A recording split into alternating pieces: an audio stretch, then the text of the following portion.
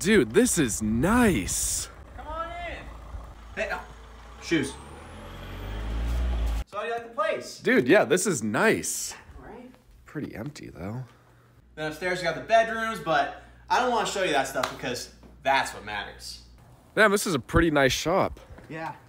I bought it and the house came with it. So this is the shop.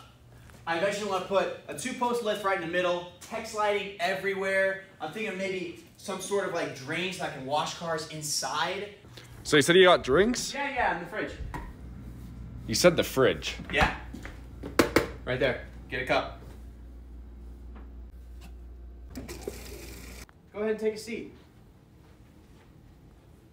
What? So are you thinking about getting any furniture?